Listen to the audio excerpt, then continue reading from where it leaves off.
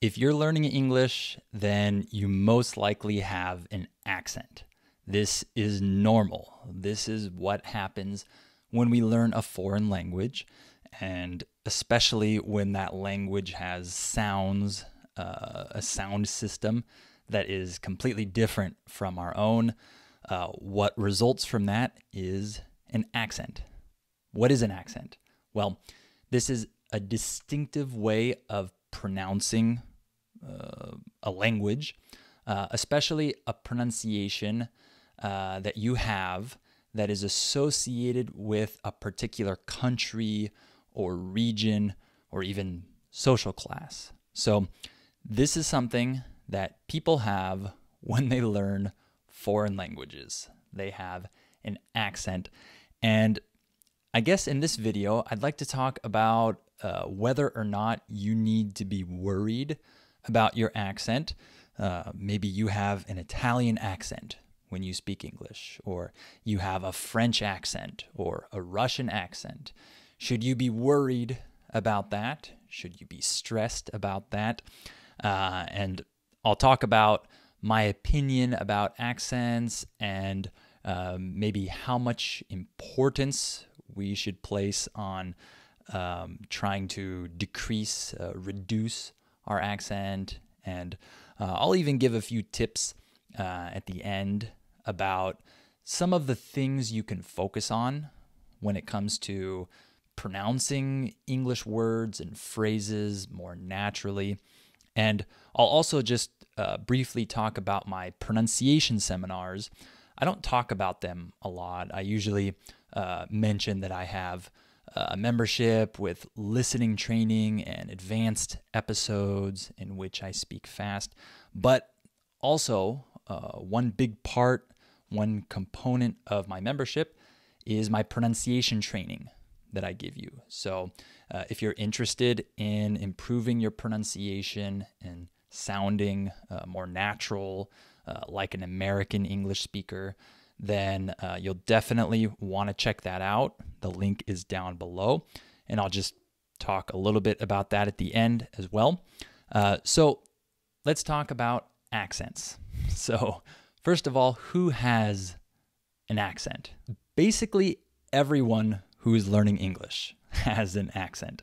Um, that's not to say that everyone has a really thick accent and everyone has an accent that's extremely noticeable. No, but um, pretty much everyone, when they're learning English and they're not at an extremely high level, let's say, um, they have some type of accent because the way that they speak English is influenced by their own native language's sound system or maybe it's not their native language. Maybe they already speak a language uh, close to English that they learned as a second language, and then they're using that language's sound system to speak English. Like, for example, I remember I used to have a student who was from Russia, but he spoke German really well because he lived in Austria and he sounded like a German when he spoke English. He had like a German accent, even though he was Russian. So uh, accents can get pretty interesting depending on the person's background. But basically, everyone has an accent when they're learning a foreign language.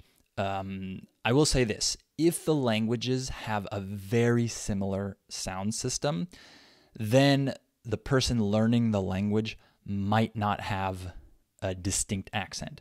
So, for example, a Greek uh, speaker, someone who speaks Greek natively, if they learn Spanish, they're probably not going to have a really thick accent.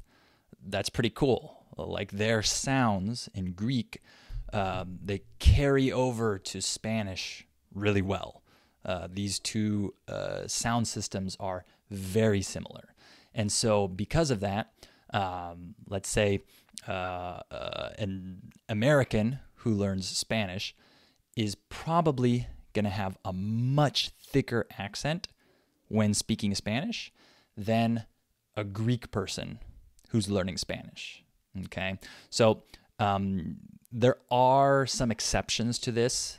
Like I said, if your language has basically the same sound system as the language that you're learning, you might not have an accent. You'll probably still pronounce things a little bit differently than native speakers, but you won't have this kind of um, overarching uh, difference in everything that you say because all of your sounds are different from that language's sounds. You're not going to have that like if you're a Greek speaker learning Spanish, for example. So that's uh, a big advantage um, for certain speakers of certain languages who are learning other languages. Okay.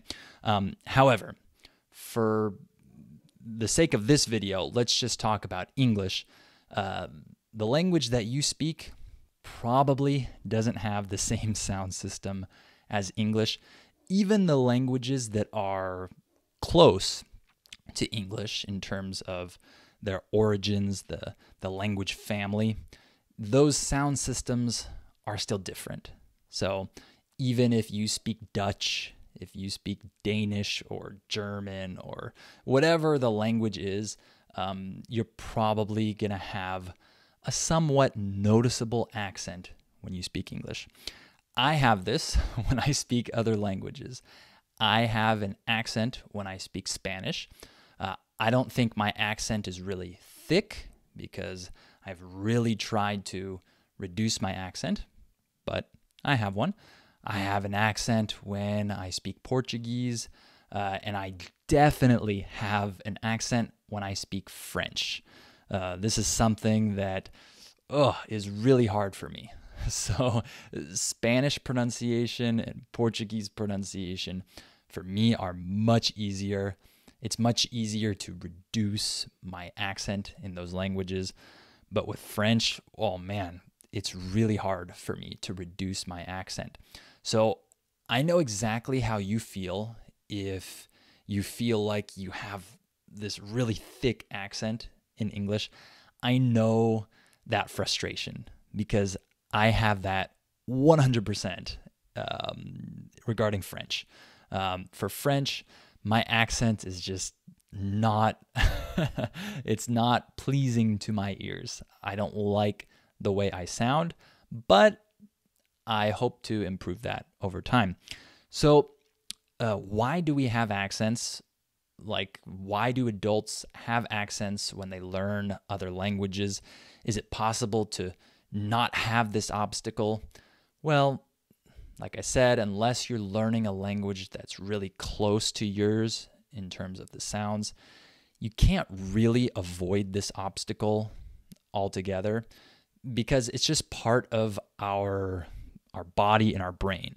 Okay, so a baby when they're born, uh, they are capable of hearing and identifying and really capturing the sounds of all the languages in the world. Like a baby that is a newborn child, or let's say a six month old baby, an eight eight month old baby, um, they can hear like every sound of every language.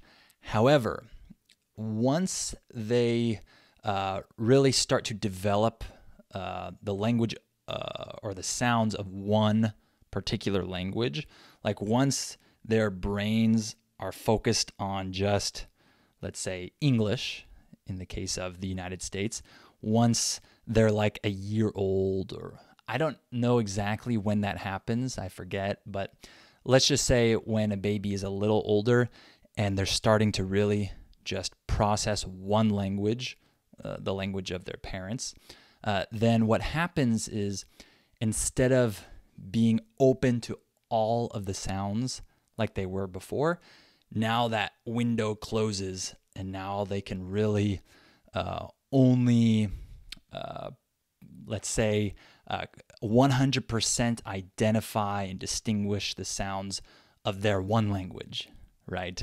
It's like they started with the capability of identifying and, and distinguishing all the sounds of every language. And then as soon as their brain focuses in on one particular language, their native language that they learn, then it shuts and then their brain is just uh, you know able to 100% identify those sounds of that language of course a child um, if they move to another country at a young age they can kind of reopen that window back up and uh, they can eventually learn another language and sound like a native speaker even if uh, they're not a baby when they moved to the country. Uh, maybe they're just a young child or something like that. Yeah, that can definitely happen for sure. That happens all over the world. It happens um, in many, many cases. But for adults, we don't have this ability anymore. We can't really reopen that window and just be able to hear all the sounds in every language and be able to replicate them perfectly. We just can't do that. However, we can, of course, learn to pronounce things correctly in different languages. We can learn the correct mouth position and movement to make. Uh, we can learn to more correctly hear the difference between different sounds, um, hear them more clearly. Of course, we can do that. But there's always going to be this effort involved. There's always going to be uh, this tension or this obstacle um, that comes from the fact that you are operating um, with a sound system that is not yours. And when that's the case, you really have to make the effort to pronounce things correctly, to uh, be able even just to identify the correct sounds. I've had tons of experience with this uh, when I taught in the past with students who uh, simply couldn't hear the difference between two sounds in English, and these two sounds sound very different to me. but when my student, or tons of students, uh, I've had this experience many times, when they would hear these two sounds, they would say, mm, it sounds the same. Like they can't hear the difference. Okay. That comes from the fact that their ability to recognize sounds is limited to their own native language at that point. And we really have to make the effort to train our brains, train our mouths, train our ears to really be able to identify and reproduce sounds in another language. So, this is the reality of language learning. Okay. I'm not saying all this to discourage you or to really just give you a bunch of bad news because this is something we all deal with as adult language learners. This is something we need to accept. And I think that the quicker you accept this, uh, the more quickly you uh, recognize this and realize it and say, yep, that's the reality. I'm never going to sound 100% perfect with my accent. Once you've accepted that, you can just leave that behind you and not worry about it. Okay. Um, there are many English learners who choose to just not speak English because of their accent, because they're so afraid of being judged, uh, of being made fun of because of their accent, that they just don't speak, right? um, especially in certain countries. Maybe you are from a country where people are very critical of you when you try to speak a language like English and you have a bad uh, pronunciation, a bad accent according to them, but really you're just learning. You, of course, have an accent because you're not a native speaker. It's not bad, it's just that you don't pronounce things exactly like a native speaker pronounces them. But other people kind of judge you for that or make fun of you, or there's kind of a, a competition among people with English in particular, right? I know that exists in some countries, so I understand why some people just don't want to talk because they're afraid of being, you know, judged or criticized for their accent. But I want to advise you, recommend you today to just forget all that, okay? and accept that you have an accent, that you're never going to sound 100% like a native speaker. I know that, you know, that isn't the best thing to hear, but that's the reality. I've accepted that for French, for example. And the fact that I've accepted that now helps me have conversations in French. Now that I'm speaking like a couple times a week regularly, I don't really care that much about the fact that I have an accent. I care in the sense that I want to improve my pronunciation and reduce my accent, but I don't care in the sense that I'm not ashamed every time I speak French, right? In the past, I was a little hesitant to speak French because of my accent, but now pff, I don't care. now, because uh, I'm not worried about that, I can actually improve. I can practice. I can really uh, just not be so emotional when it comes to um, you know my accent and the way I sound. So I recommend you have that same mindset for English. Okay, English is an extremely, extremely hard language to pronounce like a native speaker. Of all the difficult elements of English, the being able to pronounce English exactly like a native speaker, that's the hardest thing. There's no debate about this in my mind. I've taught English for many years. I can safely say that the most difficult element of English, I think, objectively speaking, it doesn't matter who you are, what country you're from, um, it, it is extremely hard to talk for one minute in English and sound exactly like a native speaker in terms of the way it sounds, your pronunciation. I've virtually never heard that in my life, or I've almost never heard that from a non native speaker. Okay. So just remember that. Remember that that shouldn't be the standard. The standard is to not uh, have any trace of your accent.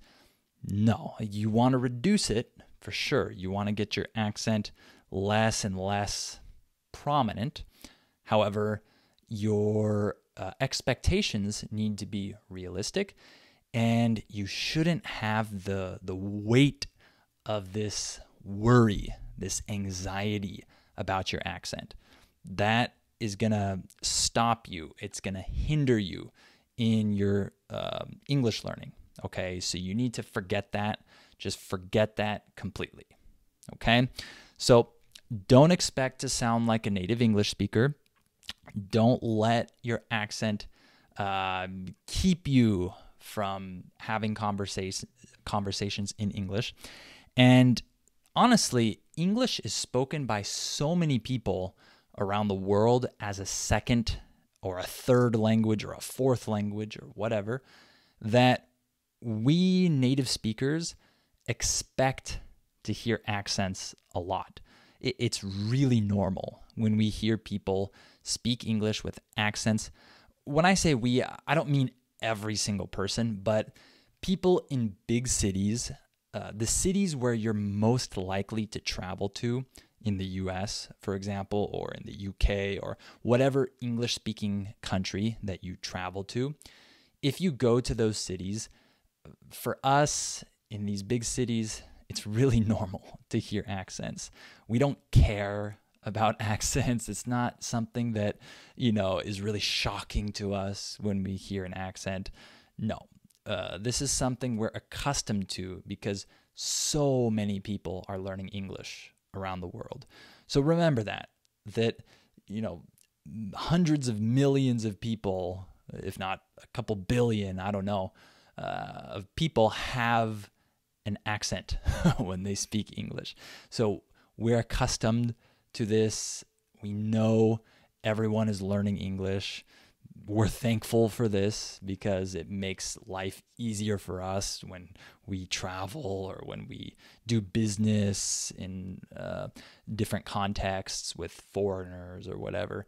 So, really, it's great that you're making the effort to learn English and you don't need to be ashamed because you have an accent. Okay.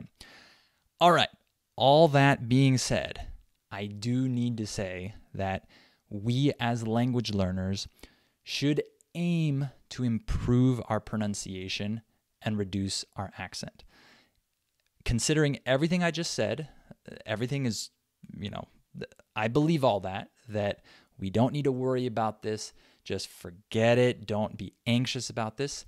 However, at the same time, make a conscious effort to improve your pronunciation as part of your English learning. This is kind of the forgotten part of uh, language learning. We always uh, talk about language learning with the four uh, skills like reading, writing, speaking, and listening. However, pronunciation is almost like a fifth skill. It's almost like separate from speaking itself because uh, there are many people that are completely fluent in English. They sound great in terms of their vocabulary and grammar, but they've got a thick accent. They don't pronounce things correctly, but they speak very well, very correctly in terms of their grammar, vocabulary, sentence structure, etc. So, this is kind of the forgotten part of language learning for many people, or it's the part that people don't really spend much time on. You probably don't uh, hear a lot of English teachers really focused on pronunciation. They're usually focused on grammar or vocabulary or other things. So it's not easy to improve your pronunciation. I'm not saying that. Um, it's actually one of the hardest things to improve. Okay. Uh, perfecting your pronunciation, reducing your accent, that takes a lot of work. It takes time. And uh, really, it requires your dedication to actually noticing what is different about your speech and a native speaker's speech. Um, really, this is one of the biggest things that is going to help you. Um, part of your practice when you learn English um, could be to spend some time uh, listening, but with the intention to really hear what things sound like, right? And maybe compare your own your own speech to this. Maybe you record yourself and you listen and you hear the difference.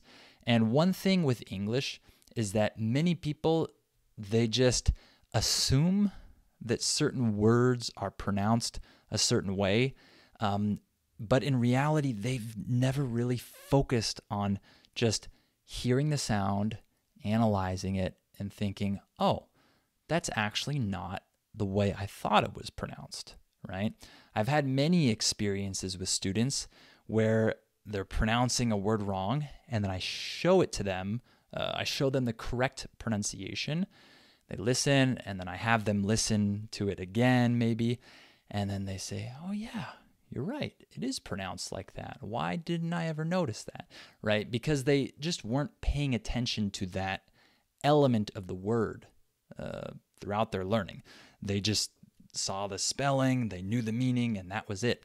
But it's good to take some time to actually notice the sounds of English. Okay. So that's one thing I wanted to say.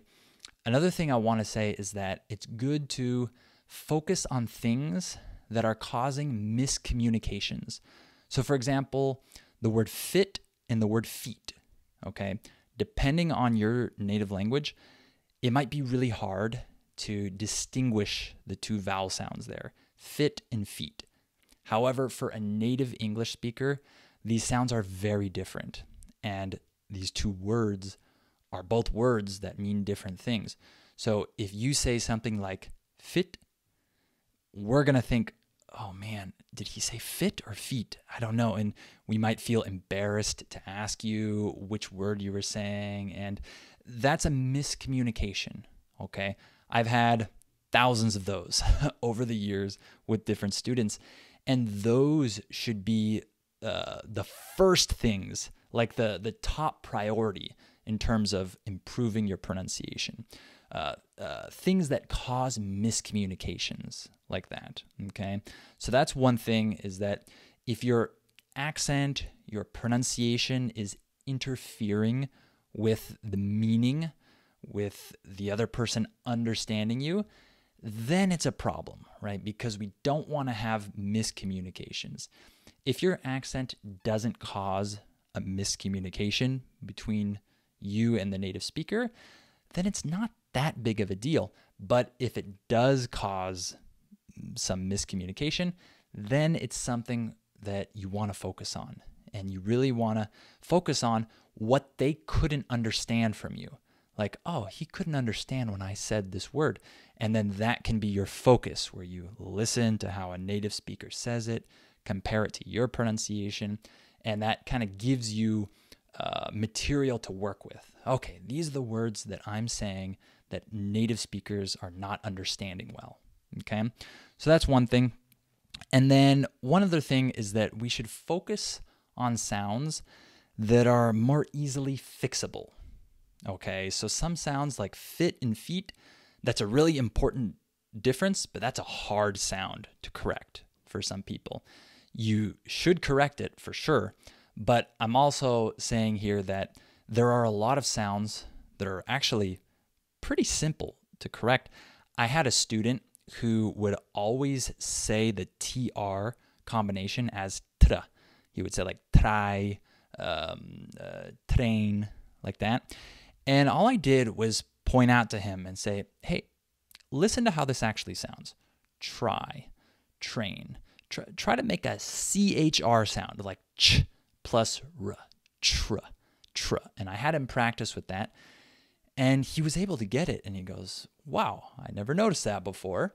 And he simply just practiced that over and over again. And after a few classes, he was saying it correctly, like almost 100% of the time, because it was pretty easy for him to make the ch sound and the tr with the r afterwards. It wasn't that hard. So all he had to do was remember that that's the correct pronunciation, not try, it's try, right? And so that was an easy fix because he was able to make the sounds. It wasn't like, oh, those sounds are impossible, right? Uh, or the fit feet difference, which is a lot harder, right? So, um, you know, if you're if you have a class with a teacher and they point out some different errors of yours with pronunciation, you'll probably notice that some of them aren't that hard to fix. It's just that you have to remember this is the correct sound and you have to start to notice that when you do your listening and say, "Oh yeah, native speakers say try, not try." And it will become natural for you over time. Okay. So, those are some of the things that I wanted to say here. I know this video was a little bit disorganized. I also want to mention that if you really do want to improve your pronunciation and say things more correctly, then I highly recommend that you use my uh, English pronunciation seminars and my sound training videos, which are part of my membership. So I help you train with the different elements, the different patterns in English that um, distinguish a native speaker's pronunciation from a non native speaker's pronunciation. So if you want help with that, if you want to practice with those different patterns, then I highly recommend that you join my membership and become Listening Time Super Member or any of the higher tiers. The link is down below if you want to sign up for that. So I think that that will be really helpful for you. And even if you don't sign up for that, in general, I think that um, if you have the mindset of not being super anxious and scared to speak because of your accent, so forget that. But then also have the mindset of, oh, okay, I'm going to focus part of my practice on pronunciation. I'm not just going to do, you know, normal listening and reading and speaking. I'm actually going to focus on hearing the sounds and actually trying to make the correct sounds, maybe taking some pronunciation classes with a teacher. Um, that's a great mindset to have. Don't feel scared and worried about your accent, but try to improve it and try to eliminate miscommunications. Okay? All right, I hope this video was interesting for you. Uh, remember, I never talk about this, I never mention it like all the other YouTubers do, but of course, you know, you can subscribe and click on the little bell so that you receive the notifications when I release a new video. So if you don't want to miss my videos, then remember to do that. All right. Thank you for watching this video, and I'll talk to you in the next one.